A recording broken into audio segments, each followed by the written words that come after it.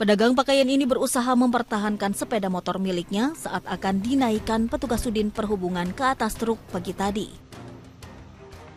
Sepeda motor tersebut menjadi sasaran razia lantaran kedapatan parkir sembarangan di bahu jalan di kawasan Pasar Tanah Abang, Jakarta Pusat. Upaya mempertahankan sepeda motor pun mendapat perhatian dari rekan sesama pedagang yang ikut membantu merebut sepeda motor dari tangan petugas.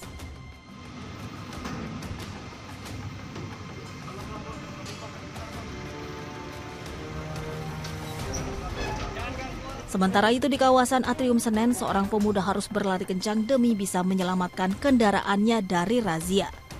Petugas mendapati pemuda ini memarkirkan kendaraannya di badan jalan. Tadi saya udah dari pertama aja bilangnya tuh minta ke sono gitu bahasa rumahnya. Pun dari pihak penerima kadang namanya komplek udah terima B gitu aja. Uh, angkut jaring sesuai ketentuan yang berlaku dan kita bawa ke kantor Sudinhub Jakarta Pusat.